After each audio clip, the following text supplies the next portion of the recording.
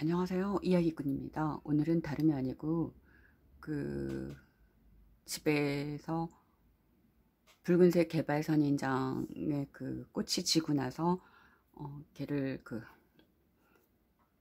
그 개체 수 증가하는 동영상을 찍었는데요. 어, 제가 어, 작년 아 그러니까 벌써 햇수로 2년 전에 저 개발선인장의 개체수를 증가시켜서 두 개는 집에 두고 두 개는 여기 가져왔거든요 이렇게 창틀에 올려놓고 자라고 있었는데 어 그, 때 찍은 거를 찾아봐도 아무리 찾아봐도 없어서 오히려 이렇게 흔적을 보여드리려고 이렇게 여기를 찍어 봅니다. 예. 얘가 그런 식으로 하나씩 하나씩 뜯은 거에 그 어, 그거입니다 이거는 내려가서 해야 되겠네요. 그러니까는 첫 번째 저거는 어, 하나 산 거 그대로 갖고 온 거고요 얘네들은 새끼 친거 이거 그러니까 원예 상토로만 된 거예요. 2번 4번은.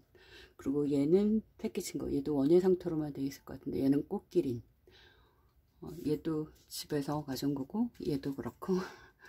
근데 어쨌든 오늘의 하고 싶은 얘기는 제가 찍었는 줄 알고 다 뒤져도 없어서 보니까 어, 그, 그 당시 증식해 놓은 그 개체수 증가해 놓은 얘를 보여드리려고요. 집에는 물이 말라서 죽고 어, 그 원래 원번 모체까지도 두 개를 요번에 말라서 뽑아서 죽였어요. 예. 그러니까 뽑아 죽은, 죽은 거니까 뽑아 보냈어요. 예. 어, 내려서 다시 볼게요. 제가 집에서 튼튼한 놈두두 개만 갖고 왔는지 얘들이 굉장히 많이 자랐는데요. 음, 끝봉우리가 다 달려있는 거를 지난 12월 그 성탄절에 봤었는데 음, 끝봉우리들이 많이 떨어지고 얘들은 폈는데 어, 물이 너무 모자라네요 이 아이들에 비해서. 어, 얘네들이 잎사귀 하나 두 개 또는 어떤 건 세 개겠죠. 그런 걸 잘라 가지고 이렇게 어, 2주일 정도 말렸다가 심어 놨던 거예요. 그, 그리고 잘 된 것들 아마도 잘 된 것 같고 왔겠죠? 정확히 기억이 잘 안 나는데. 그리고 이거는 제가 흰색 꽃길인 아니 아니야. 흰색 개발선 인장으로 샀는데 분홍색이네요? 음. 지금 이런 것들이 분홍색이잖아요? 그냥 보이기에는 흰색 같은데? 이 꽃도 분홍색이네요? 네.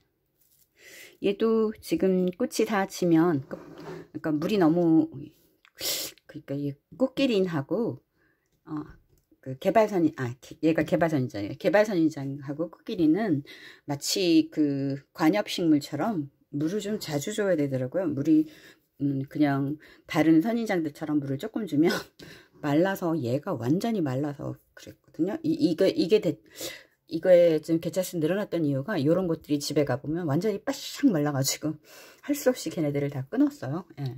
그래서 여러 개 만들었는데 음, 얘네들이 엄마보다 더 저기 원래 엄마보다 훨씬 더 크고 꽃도 더 많이 열리고 그랬네요. 이거 개발선이죠. 예. 그쵸? 음. 여러분도 한번 해보세요. 어, 개체수 늘리는 거 재밌잖아요. 예. 새끼가 자꾸 자꾸 많아지니까 관리하긴 좀 어렵지만 그래도 여러분도 이렇게 어, 개발선인장 어, 뭐 가지발 선인장 뭐 어쨌든 키워보세요. 예, 너무 예쁘잖아요. 이렇게 꽃이 굉장히 크고 사실 봉우리 봉우리마다 다 맺었었는데 어, 어디로 떨어졌나 봐요. 어. 하여튼 감사합니다. 음, 여러분도 한번 어, 개발선인장 올해 한번 키워보세요. 감사합니다.